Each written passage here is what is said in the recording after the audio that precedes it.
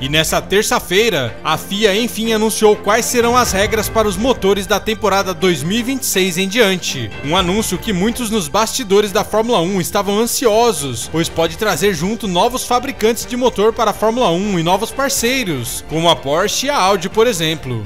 E de forma resumida, as novas regras focam na sustentabilidade dos motores, que serão motores V6 híbridos, mas que agora 50% de seu desempenho dependerá da parte híbrida elétrica. E desse motor, o MGUH, sistema que se aproveita do movimento das turbinas para gerar energia, que encarecia demais o projeto, agora não fará mais parte dos motores. Também, várias peças desse novo motor serão padronizadas para todas as equipes e várias outras serão eliminadas, juntamente com uma proibição do uso de materiais muito caros na fabricação.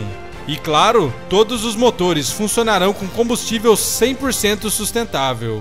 Além dessas mudanças, limites financeiros serão aplicados no desenvolvimento dos motores, para que o custo de produção seja reduzido e dessa forma seja atraente para novos fornecedores. Em questão de desempenho, o plano é que os motores tenham o mesmo desempenho dos motores dos carros atuais. E caso você queira saber mais, a FIA disponibilizou um documento de quatro páginas explicando de forma bem detalhada as mudanças, e vamos deixar aqui na descrição para você.